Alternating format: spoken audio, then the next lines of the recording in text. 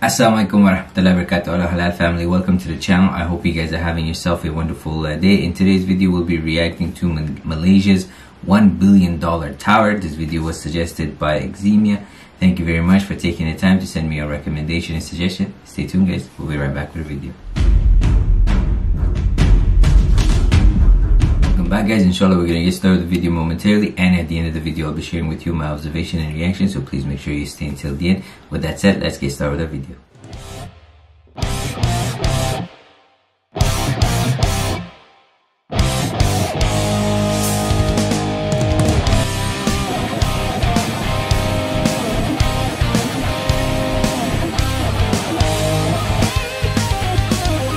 Disember 2020 Sedar tak sedar, sudah enam tahun pembinaan Menara Merdeka 118 di Kuala Lumpur.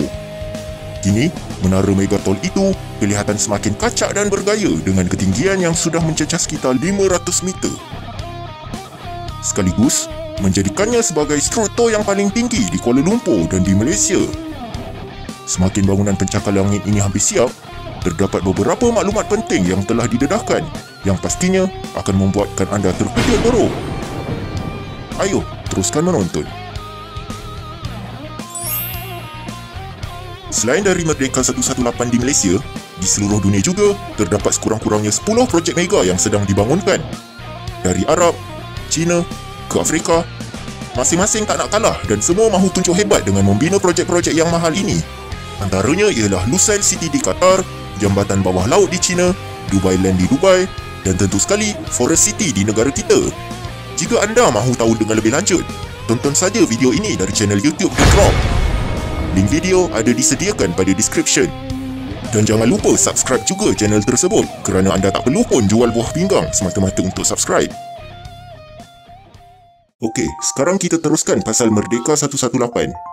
Pada November yang lepas, pemaju menara ini iaitu PNB telah menganjurkan sebuah program bernama Minggu Saham Digital. Pada hari pertama program itu, terdapat slot temu bual bersama Ketua Pegawai Pelaburan Hartanah PNB serta Ketua Pegawai Eksekutif PNB Merdeka Ventures. Di dalam sesi soal jawab tersebut, mereka telah berbicara tentang perkembangan terkini Menara Merdeka 118 dan mereka telah mendedahkan beberapa rahsia tentang menara ikonik itu. Mari kita tonton sorotan temu bual tersebut. Hello semua dan sekarang ni awak bawa anda ke Sales Gallery Merdeka 118 dan pada hari ini kita akan bersama seorang yang cukup istimewa akan menceritakan lebih lanjut lagi tentang bangunan yang bernama Merdeka 118 dan bersama kita we have Encik Rick Ramli Ketua Pegawai uh, Pelaburan Hartanah Pemodalan Nasional Berhad yang akan memberikan kita semua a quick preview behind this symbol of progress that is set to change the iconic skyline of Kuala Lumpur Merdeka 118. Hello Mr. Rick, how are you doing? Hello Awal and welcome to our show gallery. Thank you so much. When we went out designing the, the, the building, we wanted something that was truly unique, differentiated, world class because the development was was positioned at, at that level. But we wanted a design that uh, respected history, respected tradition, uh, and essentially had a sense of uh, place, meaning it needed to be, while it's world class, reflect the history and what was already already there. Yeah. Um, so if you look at the silhouette of the building, um, it reflects uh, Tunku Abdul Rahman's outreach hand as he declared independence. And that's why the spire is not in the middle of the building, it's at the, side of the building to reflect his outreach hand. Um, so, so we thought that was a pretty unique design reflecting what was there uh, already. Second thing is the, the, the design and the facade of the building is what we call multifaceted. It is it is designed and shaped like a diamond, and we like that uh, because we, we, we, we wanted it to portray the multiracial uh, composition of our country. So the multifaceted aspects of the diamond mm-hmm. uh, corresponds to the multiracial uh, components of, of the, of the country. Very nice. This development will be truly distinctive and differentiated. But let me start with something a bit more mundane, which is the connectivity. This site will be accessible by monorail, LRT, MRT. So it will be highly accessible uh, through public transportation. Not only that, we are upgrading the road infrastructure, we're building tunnels so that the public can get in and out of this site seamlessly. So the last thing you want as, as someone coming to visit the site is to be stuck in a massive jam. so we thought through that and, and that is going to be an important feature is that this site will be highly accessible with very efficient flows coming in and out. But what I'm particularly excited about are the different components that we're building in the development. Let me start off with the observation deck. Oh, this observation deck will be the tallest observation deck in Southeast Asia, will be all the way at the top of the building. And we've curated the experience so that at, when you start the journey at the bottom of the building, you will, you will get a bit of the history of KL, the history of the development. And when you come up to the top of the building, You get to see. you get to see unparalleled views of the city 360 degree views. And if you are a thrill seeker we have something special in store for you. There is uh, obvious uh, there is uh, glass floors where you can have nothing but the KL un- uh, KL underneath you. You and if you're really truly an exceptional thrill seeker you can put on a harness walk outside the tower uh, weather permit but you can walk outside the, the, the tower and even the spire is a tourist attraction. You can walk up the spire and there are perforated holes at the top where you can then take a picture of yourself at the top of, of, uh, of the building. Oh wow! So it means every every bit of, of the design it has something Sure. for the public to Yes. experience. So that's the observation. And if I move just right underneath the observation, we have uh, the Park Hyatt Hotel. Right. So this is one of the highest end uh, hotels uh, that we will have in the city. And as the public, you can go up, have a cafe, have high tea, or, or have, a, have a nice meal up there. At the base of the tower, we then have a mall. And, and you might ask what's so special about the mall. Uh, we, are, we are thinking through um, some of the more interesting aspects of the mall. The first thing I'll say is that the mall, at the top of the mall will be a, a, a massive dome that when you look up, you can look up through the tower. So it will be a magnificent view. And what we're also planning for is that the dome itself becomes a little bit of a light show, similar to some other developments around the world where there's you know magical fountains. This is our our way of trying to attract tourists to come and look at the uh, uh, at the mall. With natural lights and Natural everything. night. And one of the floors in the mall is we are trying to position it as a Malaysian artisanal district. So we'll get you know Malaysian the Malaysianness and the Malaysian merchants to come in and, and display their, their wares there. And then coming out of the mall, there's a four acre linear park. So if you want to spend time with your family, you can come in, enjoy the, the water features there. And at the very end of the linear park, which will be across from Stadium Merdeka, will be what we call Look at 118. This is aptly named because when you stand at the top of the structure, you can literally look at 118 and take a picture with the, the full height of the building. So we've planned this very carefully so that if you're a tourist, you will spend at least half a day uh, in the development. In the development. Beyond that, we also have two uh, residential towers, uh, which you know, as public, you can you can buy. Uh, and if you're a tenant uh, in the working in the building, we also have a mosque and also a, a unique childcare center, uh, which is standalone uh, for you. So the development will be will be very special, and I would say it will be another new iconic destination for, for the city. As someone who's closely associated with the project, I guess in the in the immediate term, the hope is to complete this successfully and, and so that it comes to life.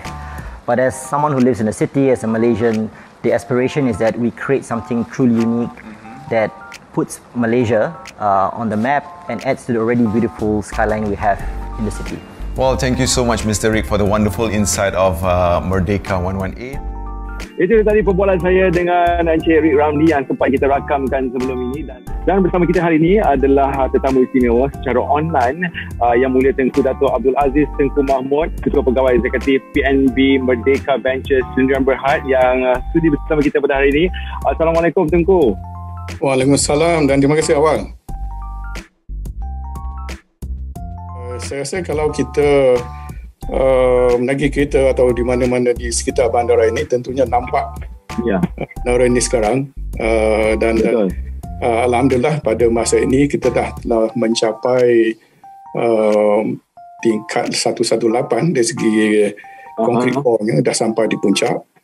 Dan uh, Wow, Nya di tahun hadapan untuk 6 bulan tahun hadapan kita membina spire yang kita maksudkan dengan tangan tadi dengan tangan di, di akan Betul. dibina di pada tahun hadapan dan uh, lantai lantai pejabat uh, di menara ini telah sampai ke tahap level 1110 Jadi 8 tingkat Oh, lagi lagi Alhamdulillah. untuk sampai Oh, puncak uh, 8 tingkat dan juga fasad kaca yang kita lihat di bangunan ini adalah sampai tingkat 81. So memang Wow. dan giat dilaksanakan dan insyaallah kita uh, ber- kita planningnya untuk mencapai 118 di penghujung ataupun awal tahun depan. Itu planningnya. InsyaAllah. Daripada temu bual sebentar tadi, kita boleh simpulkan beberapa perkara baru yang cukup menarik. Salah satunya, yang paling mengagumkan, ialah Merdeka 118 bakal mempunyai spire yang boleh dinaiki oleh pengunjung. Lantas, ia bakal menempa rekod sebagai anjung tinjau tertinggi di dunia pada ketinggian mencapai 600 meter. Mengatasi anjung tinjau Menara Shanghai ketika ini pada ketinggian 561 meter satu perkara yang tidak disebut dalam temu bual itu ialah mengenai ketinggian sebenar menara tersebut. Seperti yang semua sedia maklum, PNB secara rasminya telah mengumumkan bahawa ketinggiannya ialah 635 meter. Namun, terdapat beberapa maklumat tertiris yang menyatakan ketinggian akhirnya ialah 678.9 meter. Terdapat beberapa video drone yang menunjukkan teras menara ini mempunyai tingkat ekstra sehingga tingkat 122. Sebenarnya, ia bukanlah penambahan tingkat, tetapi ia sekadar tingkat teknikal. Tingkat yang boleh didiami pada menara ini kekal pada tingkat 118. Ada yang menerbangkan drone pada menara ini dan mendapat ukuran 540 sehingga 600 meter. Perlu diingatkan bahawa bangunan ini dibina di atas tapak yang berketinggian sekitar 50 meter. Jadi, ketinggian yang diukur oleh drone bukanlah ketinggian struktur, tetapi ia adalah ketinggian dari paras laut. Kita hanya akan betul-betul tahu apabila spire sudah siap dibina tahun hadapan. Jadi, bawa-bawalah bersabar. Dan mari kita semua berdoa supaya projek ini berjalan dengan lancar dan semoga kita semua dipanjangkan umur untuk melihatnya dengan mata kepala kita sendiri. Jika anda suka video ini, like dan kongsi. Guys, smash that like button, subscribe to the channel because inshallah once the channel hits a million subscribers, I'll be traveling to Malaysia, Indonesia as well as Turkey.